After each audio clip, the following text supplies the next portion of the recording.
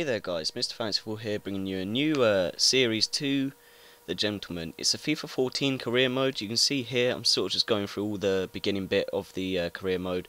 It's all sped up so uh, you don't have to watch all of it. Um, it's basically just uh, sending scouts out, reading all the emails, stuff like that.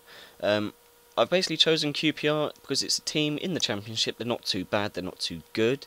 Um, I sort of the main aim is is to get them up to the Premier League and uh, see how it goes from there. Um, in this episode, I do do uh, two friendly matches. Um, I did skip a lot of the highlights out. It was pretty much all just goals, apart from uh, sort of the beginnings. So uh, you can see the sort of formation of the squad um, and into the game. So we get here with Austin, who's unlucky to score that header.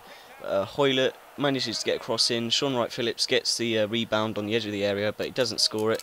Johnson's one on one. He should have scored the goal, but the keeper pulls off a brilliant save. Um, then you get the uh, final goal here from Hoilett, managing to get us that win. A nice goal there um, in the 89th minute. Really was a nice goal.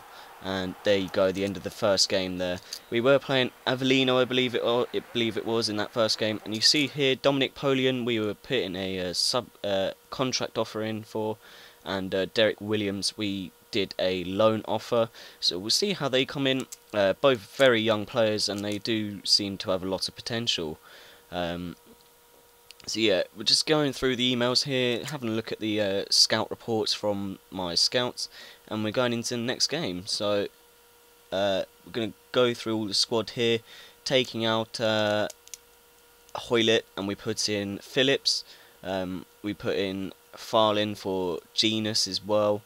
Um, Zamora was on for Austin, and uh, we do go and change the formation here. I thought we might try and change it, see if we can get a bit more goal, bit a few more goals in the game. Um, so we put it into the uh, 4-3-3 holding, um, and it it worked out really well. So uh, we took Johnson off, um, and we put Jenas on, I believe, um, and we left it at that, and we went into the game.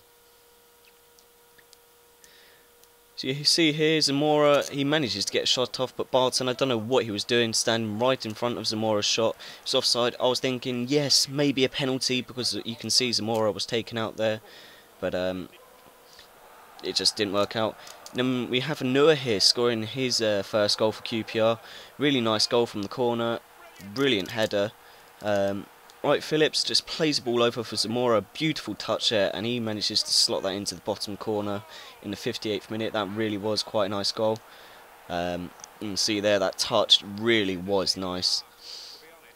And then here, Wright-Phillips manages to do some pretty skillful work and manages to slot it into that uh, bottom left corner. That was a, quite a uh, tricky goal to score. They do manage to score a goal here in the 84th minute really was a lucky goal for them, considering uh, I think it was Richard Dunne. Didn't really make the greatest clearance header, but uh, you see here the end of the game finished 3-1.